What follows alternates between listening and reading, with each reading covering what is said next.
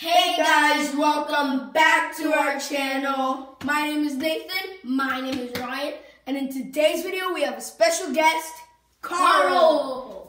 Hey guys, thank you for having me. Hope you like this video because this is a tribute to the legend himself, Pele. Let's give a moment of silence to respect what he did to the world and the football world. Pele became the youngest goal scorer at only 17.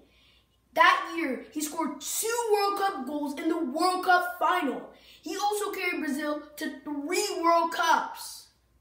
Pele scored 1,279 goals in club and country.